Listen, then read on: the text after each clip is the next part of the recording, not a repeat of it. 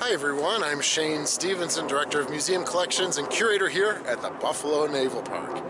And for today's video, what I'm going to be doing is I'm going to be talking about all the various armaments on USS the Sullivans, our Fletcher class destroyer. And so it really starts with the 5-inch 38 that's behind me right here.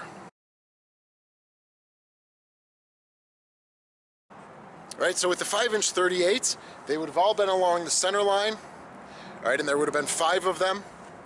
Currently, uh, USS the Sullivans has four, but I'll talk about that uh, later in the video. So these 5-inch 38s were dual purpose. All right, they could fire at uh, targets in the air and land-based or surface-based targets as well. Right, they'd be able to, a really good, well-trained gun crew would be able to fire anywhere from, say, 15 to 22 rounds per minute out of this barrel. And they'd be able to go about 10 miles. Now for the projectile itself, it was a proximity fuse, so it didn't actually have to hit a plane or an object. What it would do is it would sense that it was around a plane or an object in the sky, and then it would detonate, and you'd hope that the shrapnel would then uh, hit the target. All right, so when you see movies like Midway and things, and you see all those black poofs of, of uh, clouds in the sky, those are probably the 5-inch 38s exploding, releasing um, the, the shrapnel, and then you're hoping that you're actually hitting a plane. All right, now these barrels could elevate up to 85 degrees. All right, so that's almost completely perpendicular to the turret itself. All right, and again from there they'd be able to go anywhere from uh, seven to 10 miles, all right, to hit a target. All right, there'd be about uh, seven or eight or nine crew in there, and certainly from the lower handling room, they would be bringing up all of the uh, projectiles and the 25 pound uh, gunpowder casings. Now at the very top, let's see, over there, all right, would be the gun captain. All right, so the gun captain would be, like to say, the final lookout. But typically what would happen is the, the gun director would then signal down to the gun plot. They would put all of the information of elevation, range uh, of the enemy in there, and then these would move electronically. All right, they could also move manually if electronic power was cut. All right, but these were the workhorses of the Fletcher class, and therefore the U.S. Navy in World War II. All right, we're going to check out some more armament. Follow me. All right, the next armament on USS the Sullivans I'm going to cover are these Oerlikons here, these 20 millimeter twin-barreled Oerlikons. Now in her original configuration, when she was uh, commissioned, she would have had 7 to 10 Oerlikons single barrel and double barreled uh, on her. And then of course they changed that throughout the war and certainly after, because again USS the Sullivans was in service until 1965. So by 1965, all of the Oerlikons were removed off of USS the Sullivans and then they had derivatives of that throughout the time before 19 from 1943 to 1959. Now these had a really high rate of fire. You'd be able to fire about 240 to 300 rounds per minute. They would have had the clips, which would have had 60 each, and so they were the uh, the gun crews were pulling them in and out uh, relatively quickly, and the barrels would get pretty hot. So these would be able to travel about 4,800 yards, all right, at a speed of about 2,700 feet per second. And, right, the mileage, if you want to convert the yards to mileage, they'd be able to go about 2.5 miles at a stable velocity to do some damage on uh, the incoming Japanese aircraft, say for World War II.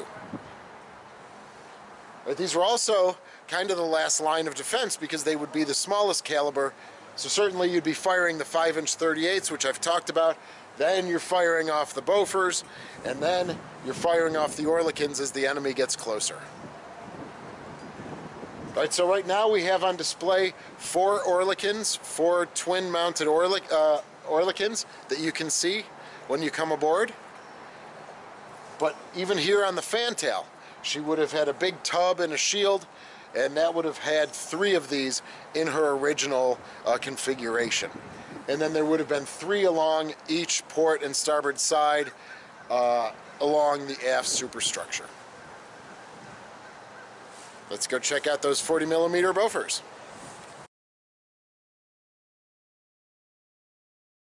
Now I'm standing on the 01 level and we're looking at these wonderful twin barreled 40 millimeters uh.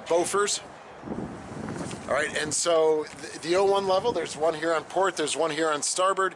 We are in between the stacks.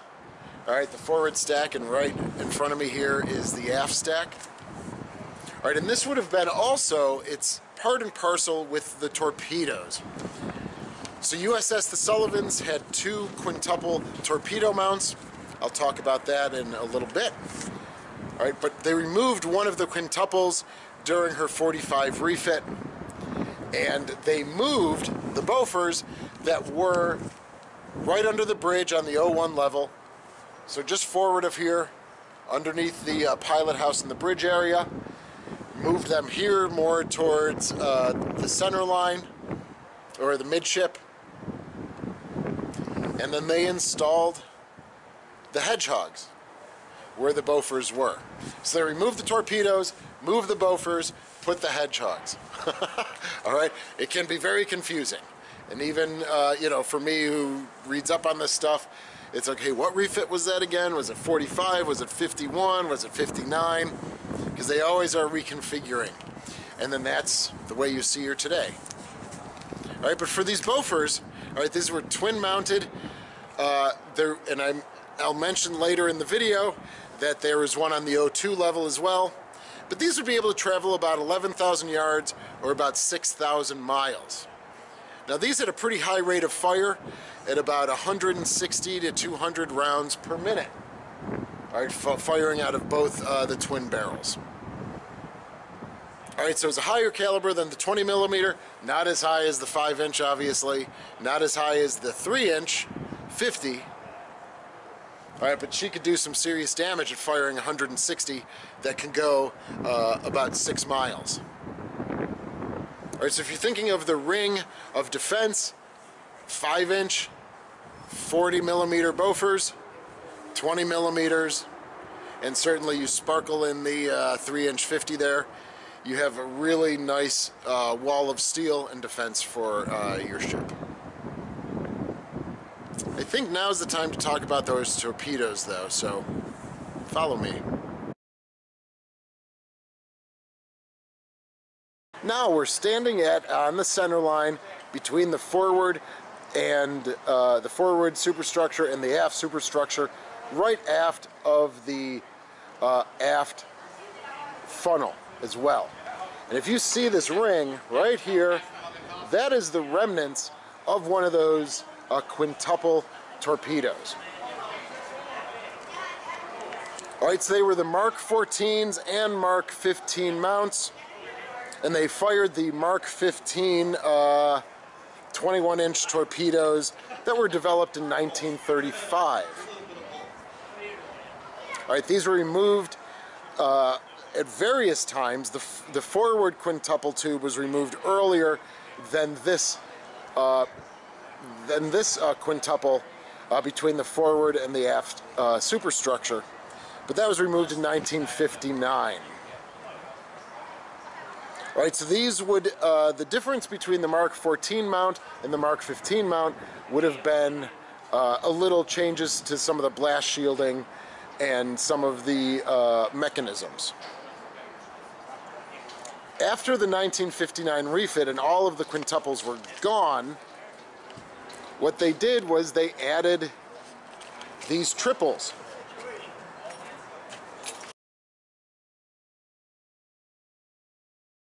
So you'll see that right there. So when you come to USS the Sullivans today, you're going to be looking at these uh, triples that were added in 1959. And these were the Mark 32's uh, mounts that carried the Mark 44 anti-submarine warfare uh, torpedoes.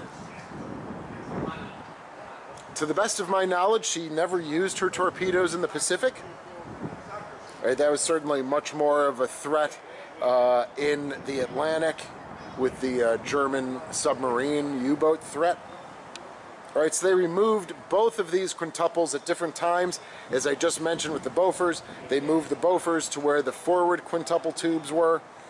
And then the circle you saw on the deck was removed in 1959 to be replaced by these uh, by these triple uh, Mark 32s. All right, we're gonna head we're gonna head elsewhere, and we're gonna talk about the depth charges and the hedgehogs. So what you're looking at behind me is the hedgehog system uh, that was added probably, I believe, in her 1959 refit. All right, and what these were was they were a little more updated uh, depth charges.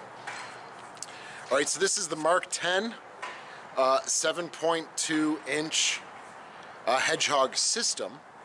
And as I was just mentioning with the Bofors, stay with me everybody, this is where the Bofors were, right underneath the bridge here. And those were moved to midship and replaced with these Hedgehogs. All right, so what these would do is these would be on a spigot system. All right, and they would it would rotate and it would fire an elliptical pattern that could cover about 140 uh, feet by 120 feet in this elliptical pattern.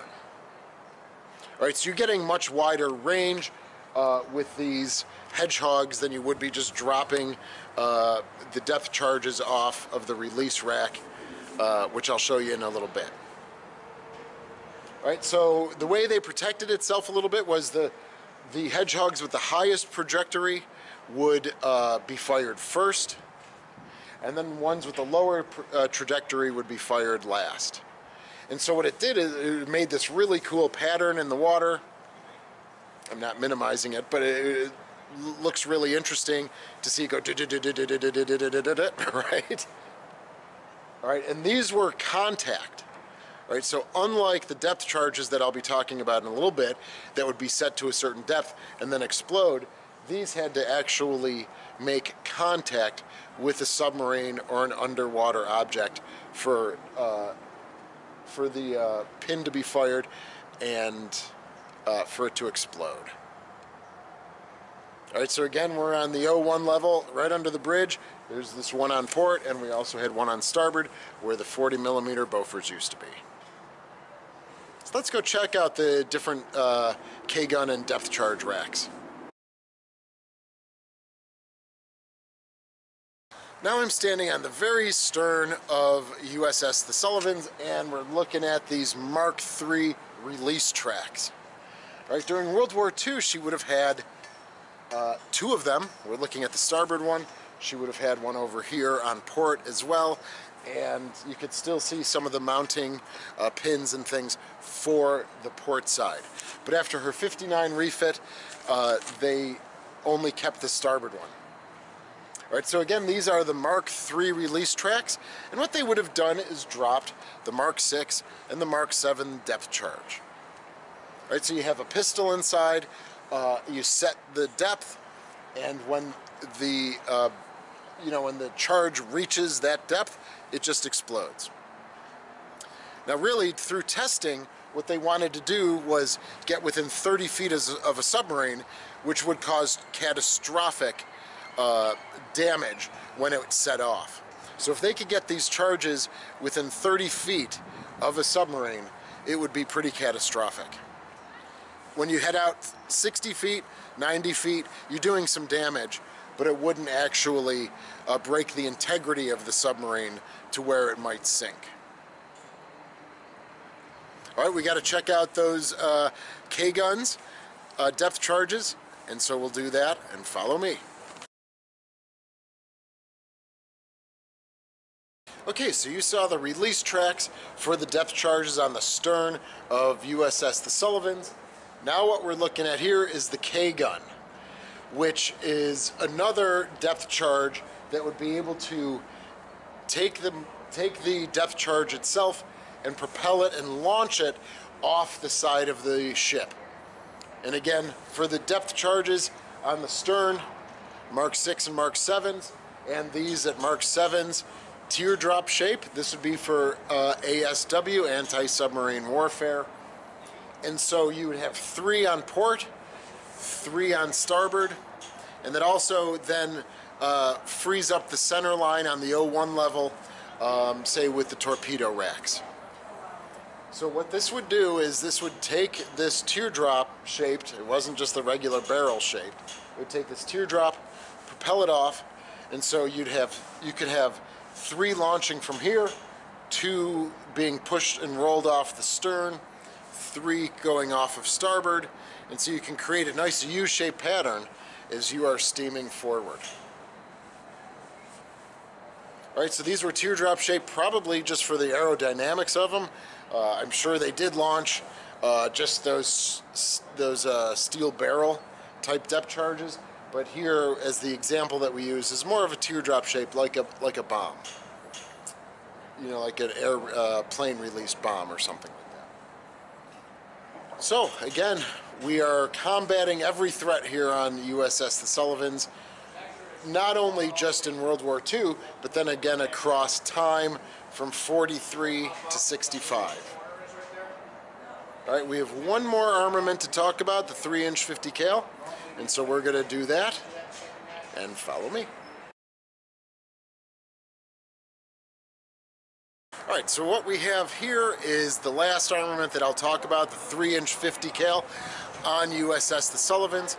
Now what, um, the best vantage point for that is to actually stand on the USS Little Rock and you really get a great view from the fantail. Okay, so the 3 inch 50 you'll see is on the O2 level. All right, and for all of World War II, that was where a 40 millimeter Bofor would have been. But towards the end of the war in the refit, they changed out to a 3 inch 50 because of that kamikaze threat. The 3 inch 50 cals would be able to kind of take care of those kamikazes. And once they hit a kamikaze, it would be able to shred the plane a little bit more than the Bofor. All right, so again, in 1945 in August, this is uh, part of her 45 refit, which is why she was stateside and not in the Pacific when the Japanese surrendered. What you'll also see here is over my right shoulder is the revamped gun director and the ready service locker. All right, so as I was mentioning with the 5 inch 38s, there would have been five along the center line.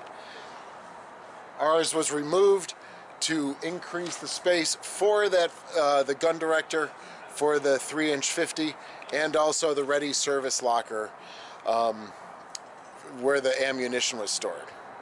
All right, so for the 3 inch 50, these would be able to travel about 8 miles at, uh, at a set velocity. All right, so now you're, you're really packing a punch with these 3 inch 50 shells at about 8 miles away. All right, so when you come here, you will see the 3 inch 50, but really the best way of looking at it is from the USS Little Rock, and that was part of her first refit in 45. And that's also why you'll see she only has four 5 inch 38s, because they removed it for uh, the 3 inch 50. Alright, so I hope you enjoyed this video. You learned a lot about the firepower Fletcher class could put up all right, it was for anti-submarine work. It was for anti-air work. All right, shooting down planes, shooting at other uh, similar classed vessels. It was also for bombarding the shore and the beachheads. So really they covered every single threat in the Pacific uh, with all of the armaments that you see on board. So if you like this video, please subscribe, ring the bell, check out our uh, other social media pages. And as always, thank you for your support for the Sullivans and uh, for all of our vessels here at the Buffalo Naval Park. And we'll see you again soon.